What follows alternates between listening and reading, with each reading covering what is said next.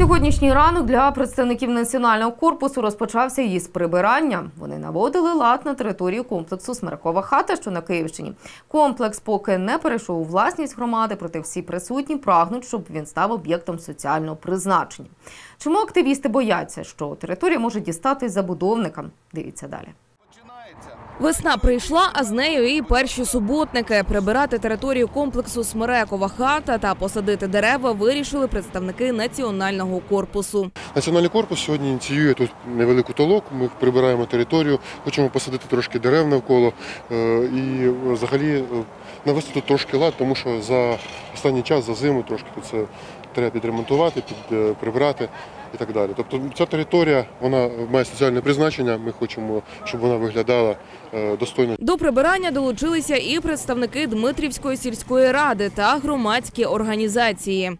До нас звернулись з проханням надати технічну допомогу техніку і інструменти. Сільська рада надала інструменти і техніку для того, щоб можна було прибрати, привести в порядок е, комплекс, щоб він мав нормальний е, вигляд. Ми з моїми побратимами приїхали допомогти нашим побратимам з національного корпусу для того, щоб е, посадити саджанці дерев е, на території комплексу. Сьогодні звичайна фізична підтримка. Представники національного корпусу розповідають, що відповідно до документів комплекс є комунальним підприємством реабілітаційний центр воїнів АТО. Також на території кілька років діяв літній табір Азовець, що сприяв військово-патріотичному вихованню молоді. А Нам сказали, от є територія незаконно е, займається. Якщо ви зайдете її, е, заберете під е, ці потреби, ми вам створимо комунальне. Ми зайшли,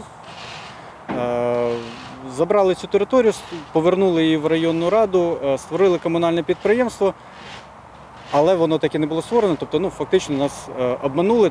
Директор комплексу розповідає, що з кінця 2015 до 2017 року вони пережили п'ять рейдерських захоплень. У цей час територія перебувала у власності донецького пенсіонера. Ми тут залишались і залишаємось до сих пір. Наша позиція це соціальний е, об'єкт. Наразі є три варіанти того, як комплекс може слугувати людям. Тут може бути відкрито реабілітаційний центр для воїнів АТО, табір патріотичного виховання молоді або музей війни. Головне, аби його не забудували. Життя покаже на сьогоднішній день ще комплекс е, не завершена передача, ще не виконаний закон про передачу майда е, утвореним об'єднаним територіальним громадам. Тобто Ця територія і ці будівлі є е, в одному з комунальних підприємств районної ради. Це власність районної ради.